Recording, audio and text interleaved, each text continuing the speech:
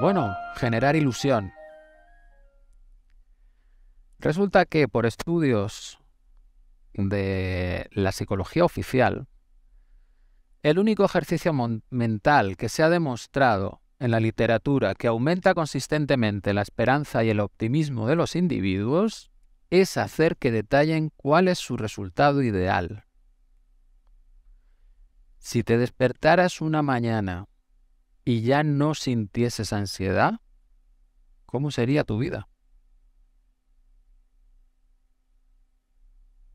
Ser capaz de imaginar eso es lo que te va a dar ilusión, lo que te va a dar energía para que continúes con ese cambio. Pero te lo tienes que recordar todos los días, porque tu programación es la otra.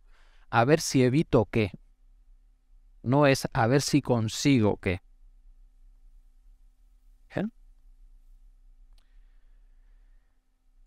Si haces ese ejercicio habitualmente, tu mente empieza a entrar en otro estado, empieza a querer buscar ese resultado. E inconscientemente empiezas a tomar acciones que te lleven hacia allí. O sea que ilusionarse es algo fundamental para conseguir las cosas. Y nos lo han contado al revés. Si os acordáis del cuento de la lechera, era justamente lo contrario. No te ilusiones porque entonces no, no. Ilusiónate porque si no, no vas a hacer nada.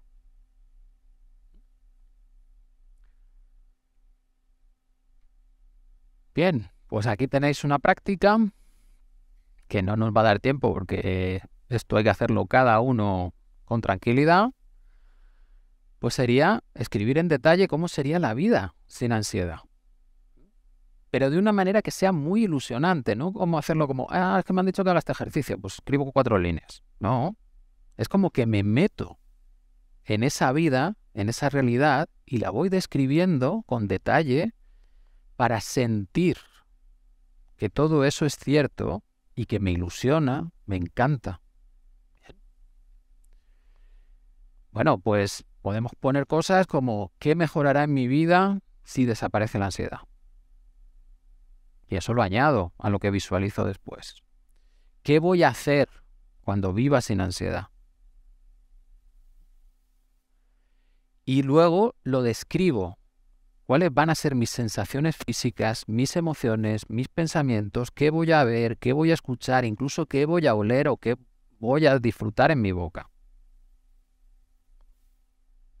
¿Cómo te ves comportándote para lograrlo? También es importante. Lo ideal es que lo escribáis de manera afirmativa, positiva y definida. Es decir, está ocurriendo en este momento. ¿Por qué quiero que sea así? Porque quiero que la sensación que sienta mi cuerpo sea lo más intensa posible. Porque si la emoción es intensa, entonces voy a querer. Si la emoción es suave, pues no me dice mucho. Por eso tiene que ser afirmativa, presente definida. Si repites este proceso los días que sea necesario, bien, y aquí de nuevo tenemos que tener eh, compromiso con nosotros mismos, lograremos generar el cambio. Y empezaremos a incorporar en nuestra vida todo aquello que nos ayude a ese cambio.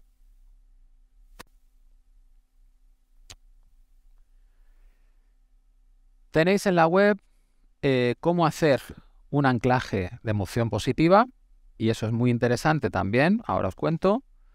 Tenéis cómo generar pensamientos positivos y luego tenéis meditaciones para generar un lugar seguro, que eso puede ser de mucha ayuda cuando estás notando que viene. Me puedo ir a mi lugar seguro y dejar que todo se calme.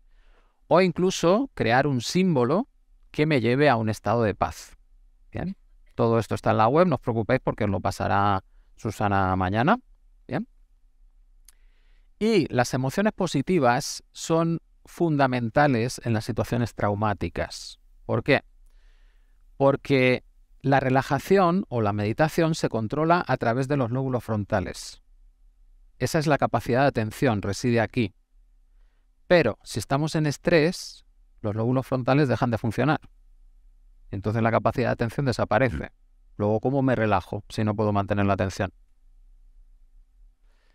Resulta que en nuestro cerebro, las emociones positivas, positivas en el sentido de que me amplían las posibilidades y negativas en el sentido de que me reducen, me limitan, las positivas son antagonistas de las negativas.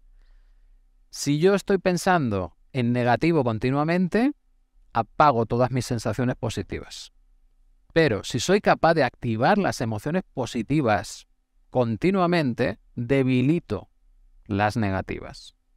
Y cuando estoy en trauma, necesito activar continuamente las positivas para debilitar esa respuesta y volver a tener mi capacidad de control, mis lóbulos frontales funcionando. ¿Bien? Y para eso sirven los anclajes positivos, asociar una palabra al mejor momento de mi vida. Y entonces tengo un mantra, tengo una palabra que me hace sentir muy positivo. Y por tanto, todas mis tensiones empiezan a bajar. ¿Vale? Pero tengo que buscar cuál es la vivencia más intensa de mi vida. O las vivencias más intensas.